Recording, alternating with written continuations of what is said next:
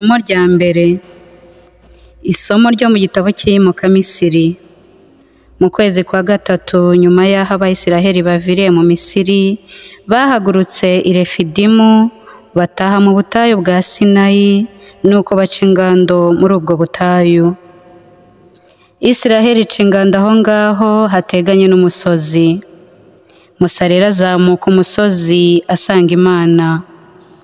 Uhoraho amuhamagarira mu mpinga y'umusozi avuga ati bwira utya inzu ya yakobo kandi utangarize abayisiraheli uti mwiboneye ubwanyu ibyo nakoreye misiri n'ukuntu mwebwe n'abahetse nk'uko kaguma iguruka ihetse abana bayo maze nkabazana mbiyegereza. None rero nimwumva ibyo mbabwira muzaba abanjye bwite mu miryango yose n'ubwo isi yose na yo ari iyanjye ariko mwebwe muzambera urugaga rw'intore zinshengerera n'umuryango mutagatifu. Iryo ni ijambo ry'imana. Dushimiye imana. Isomo rya kabiri. Isomo ryo mu ibaruwa mutagatifu pari n'umwe yandikiye abanyaroma. Bavandimwe koko rero igihe twari tugifite intege nke kirisito yapfiriye abanyabyaha ku munsi wagenwe. Birakomeye ko hagira upfira intungane sinzi niba hagira uwemera gupfira inyangamugayo. Imana rero yerekanye urukundo idufitiye kuko kirisito yadupfiriye kandi twari abanyabyaha. None ubwo twagizwe intungane n'amaraso ye tuzarokorwa nawe uburakari ku buryo busumbijeho. Koko rero niba twariyunze n'imana mu rupfu rw'umwana wayo kandi nyamara twari abanzi ubwo twiyunze tuzarokorwa mu buzima bwe ku buryo busumbijeho. Si n'ibyo ngibyo gusa. Twishimiye imana muri yezu kirisiti umwami wacu ari we ubu ngubu wadufashije kwiyunga. Iryo ni ijambo ry'imana. Dushimiye imana. Nyagasani yezu nabane namwe. Nawe kandi muhorane. Amagambo yo mu ivanjiri ntagatifu uko yanditswe na matayo. Ntabwo ikuzo nyagasani. Muri icyo gihe yezu abonye imbaga y'abantu abagirira impuhwe kuko bari barushye kandi bameze nk'intama zitagira umushumba. Nuko abwira abigishwa be ati imyaka yeze ni myinshi ariko abakozi ni bakeya. Nimusabe rero nyiri imyaka yohereza abakozi mu mirima ye. Amaze guhamagara abigishwa be cumi na babiri abaha ububasha bwo kuganza roho mbi n'ubwo kuzirukana n'ubwo gukiza icyitwa indwara n'icyitwa ubumuga cyose muri rubanda. Dore amazina y'izo ntumwa cumi n'ebyiri. Uwa mbere ni simoni witwa petero na andereya murumuna we. Yakobo mwene zebedeyi na yohani murumuna we. Filipo na barutoromayo tomasi na matayo wari umusoresha.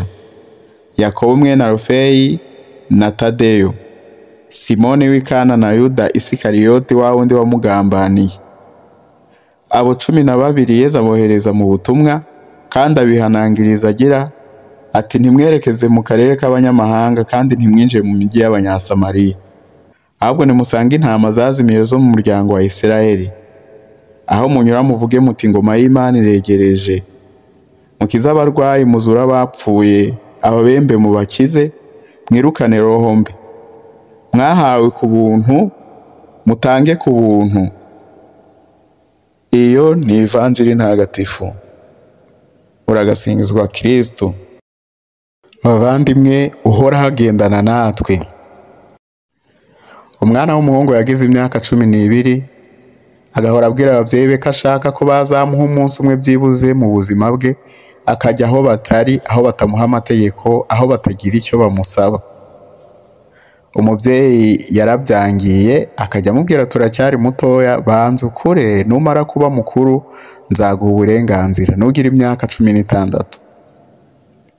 Uwo mwana agakomeza kubihatira se bigeze aho se aza kumwemerera aramubwira ati ngaho itegure uze kugenda. Umwana yariteguye afata ibintu bye yuzuza mu gakapu bamuha amafaranga y'urugendo nuko ajya gukatisha itike atega yerekeza ahantu hari ibirometero byinshi uturutse aho bari batuye. Nuko bagenda ibirometero nka mirongo itanu maze bageze aho gari ya moshi itangira kugenda yicugusa yicugusa yicugusa umwana agira ubwoba kuko ntiyari amenyereye ibintu nk'ibyo. Nuko aza kwibuka ko se yamubwiye akiri mu rugo ati ntugire ubwoba uze kureba mu gakapu hari agapapuro ngushyiriyemo kaguherekeza mu rugendo. Nuko umwana afungura agakapu vuba vuba asangamo agapapuro kanditseho ngo umwana wanjye ndi kumwe nawe. Ntabwo ndi muri icyo gice urimo ariko ndi mu kindi gice cya gari ya moshi kiri inyuma y'icyo urimo. Ntabwo nari kukureka ngo ugende wenyine kuko nzi ko ukiri muto kandi utamenyereye ingendo nk'izi ngizi. Iryo jambo ryakomeje umwana rituma akomeza urugendo afite imbaraga n'icyizere agira iyo ajya kandi agaruka amahoro. Bavandimwe mu rugendo rw'ubuzima bw'iyi si natwe dukeneye ijambo nk'iryo. Nyamara kandi turarifite. Isomo rya mbere imana yibukije abayisiraheli ko yabanye nabo ikabambutsa inyanja y'umutuku bakaba bari mu butayu ariko bitegura kujya mu gihugu cy'isezerano. Imana igakomeza ibabwira iti mwebwe muzambera urugaga rw'intore zinshengerera n'umuryango mutagatifu. Ntabwo ushobora gushengerera uwo mutegeranye. Ni ukuvuga mu yandi magambo imana yaberetse ko izaba iri kumwe n'abiteka ryose. Naho rukomeye imana iba iri kumwe natwe ngo idukize.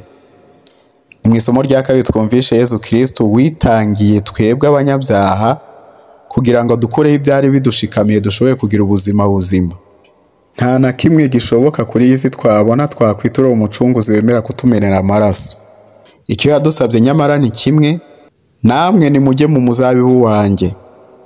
Kuri uyu munsi aratora intumwa akazituma atitaye ku bushobozi bwazo ahubwo yitaye ku mbabazi ze. Kuko yezu kirisitu ntabwo atora abashoboye ahubwo ashoboza abatoya izi ntumwa paul mutagatifu azigereranya na fondasiyo twubakiyeho.